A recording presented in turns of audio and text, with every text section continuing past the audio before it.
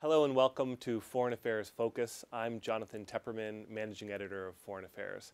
Our guest today is Robert Bonner. Robert is the Senior Principal of the Sentinel Group.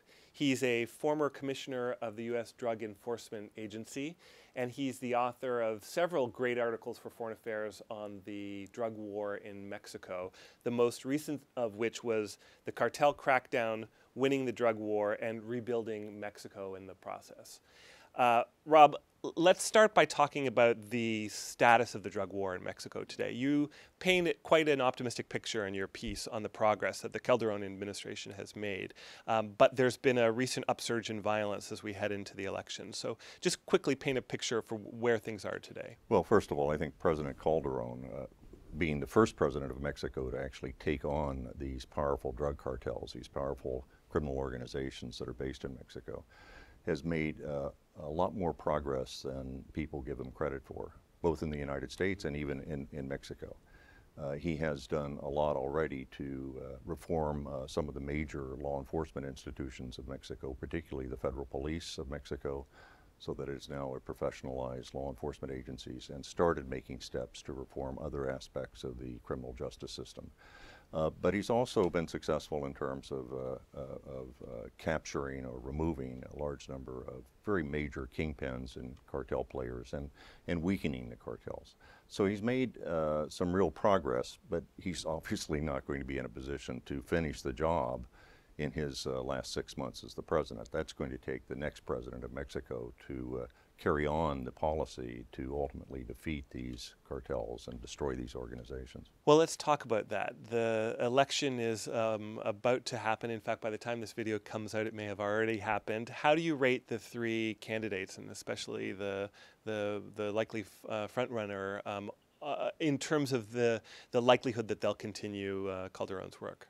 Well, it's, it's very difficult to assess. First of all, the front runner is the PRI candidate, the party that ruled uh, Mexico in the presidency for 70 years until uh, 12 years ago when uh, Vicente Fox and the PAN party uh, won uh, the presidency.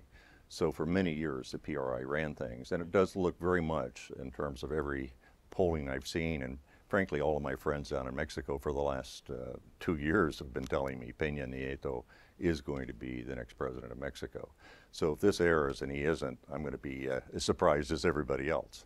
Um, but there are two other candidates in the race. But Peña Nieto, uh, what's surprising here is that the, I, I, think the greatest challenge facing Mexico today, arguably, is the drug cartels and the threat that they pose to the legitimate institutions of the government of Mexico, both through bribery, through corruption and violence and all of that.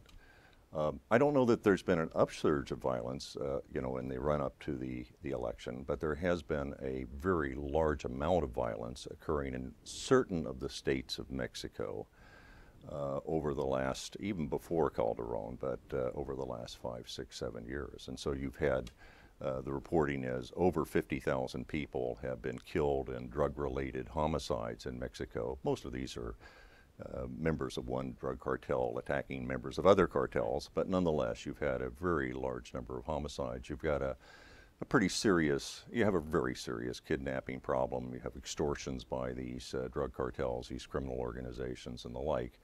So uh, you, you, the surprise really is how little uh, Peña Nieto, or frankly the other candidates, have actually said about this issue, the issue of the power of the drug cartels and, and defeating them.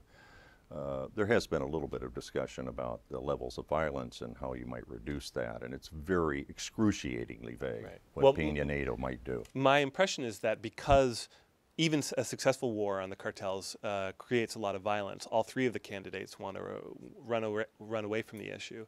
Um, how worried are you about backsliding in the next administration and that the uh, accomplishments of the Calderon administration will be lost? Have they got, have, for example, has institutional reform gotten to a a point where even if it's no longer supported, the successes will remain, or could all the good work that's been done be for naught? Well, I wouldn't say I'm unconcerned about what might happen, particularly if the PRI returns to power, which appears to be likely, particularly given its history uh, of uh, of a very cozy relationship, actually uh, a, a, modus vivendi with uh, the major drug trafficking organizations. On the other hand, I don't think that's going to happen under Peña Nieto. He, has, he himself has said that in the campaign, in the run up to the elections, that he will not negotiate with the cartels. He's vowed to continue the, the struggle. Now, he has suggested changes in the strategy that Calderon's employed in terms of uh, taking on and attacking the cartels and defeating them.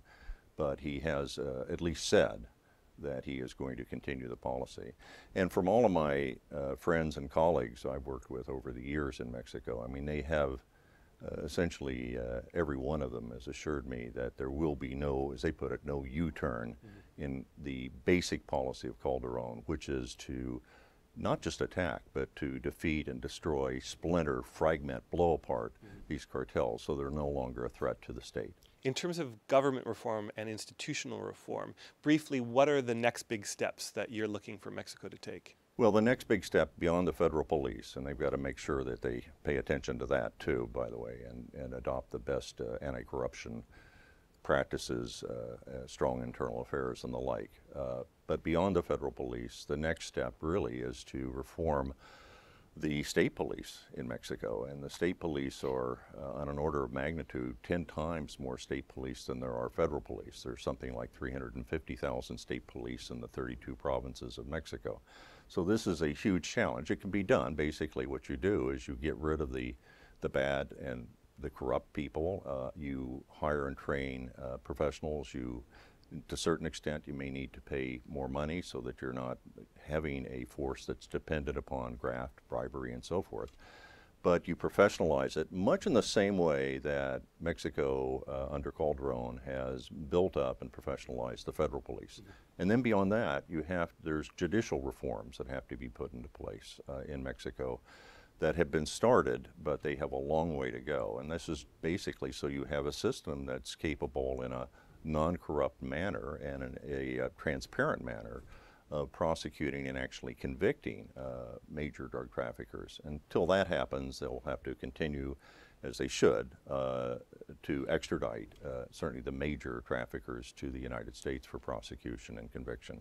And even the penal system needs to be reformed because uh, the fact is right now uh, it is possible for a major drug trafficker who is arrested in Mexico to continue to operate his enterprise and live, um, I won't say in luxury, but uh, live pretty well inside a, an incarceration setting. And so they need to actually, uh, or escape from it, as is the, is the case of perhaps the most notorious of all of the cartel uh, kingpins, uh, Chapo Guzman, who heads up the Sinaloa cartel, I mean, literally was arrested, but was able to relatively easily, through some corruption, uh, escape from, uh, from prison. So all of those things need to be reformed. They're all in process in one degree or another, and they need to be followed up on, uh, budgeted, uh, resourced, and uh, understood that these are ultimately important to defeating the cartels and establishing the rule of law and ending the era of impunity in Mexico, which I think is so vitally important to Mexico's future. One quick question. I know it's not a simple question. Um, what can Washington do to help?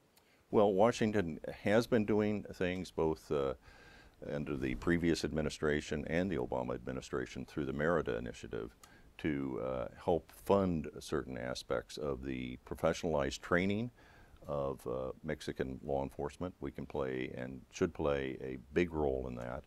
Um, there, um, there are uh, cooperative efforts uh, between U.S. Uh, uh, federal law, uh, law enforcement in particular and Mexican law enforcement that, by the way, have been better than ever, ever, I think, in terms of the ability to exchange information, get it acted on, a, a, a level of trust with, particularly with vetted units of the Mexican Federal Police and, uh, and the PGR uh, that frankly we hadn't seen before uh, going back 10, 15 years ago.